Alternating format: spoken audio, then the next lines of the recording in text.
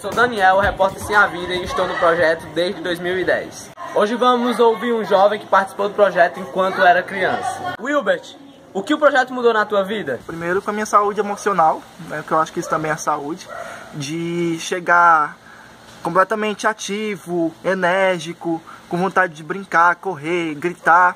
E aí, através de um relaxamento, a gente conseguir entender que existe momento para tudo, né? Então, esse contato com a minha saúde emocional foi o primeiro passo.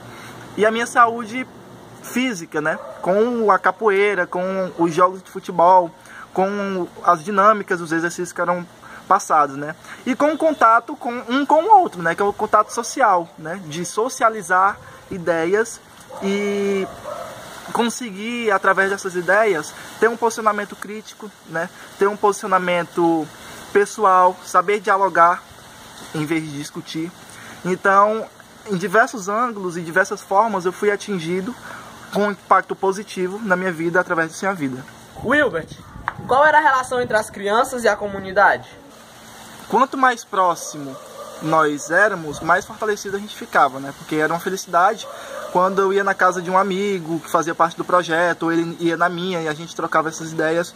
Então esse contato com a comunidade, ele ainda faz é, total menção à minha vida de hoje, né? Que hoje eu trabalho dentro da comunidade, trabalho aqui no Grande Bom Jardim, desenvolvendo trabalho com é, engajamentos políticos e com a juventude dentro das escolas. Então, esse contato comunitário ele surgiu dentro do projeto Sim a Vida, com os educadores indo na nossa casa, com nós indo na, na casa um do outro. Então, a partir desse contato, a importância de visitar cada vez mais as comunidades é, é crucial na minha vida hoje, né? inclusive para o processo de criação cultural.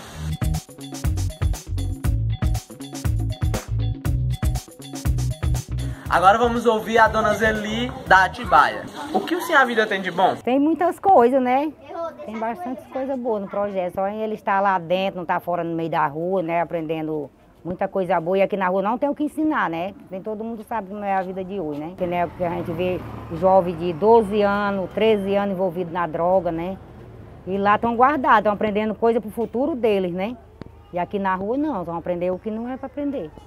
E o projeto ele tem mudado a minha vida em questão de socialização. Eu era um jovem bem tímido, um jovem antissocial e o projeto ele vem ajudando a gente em questão de socialização com os arte educadores e até mesmo com os nossos colegas. Nesse projeto tem esporte, arte, música e espetáculo.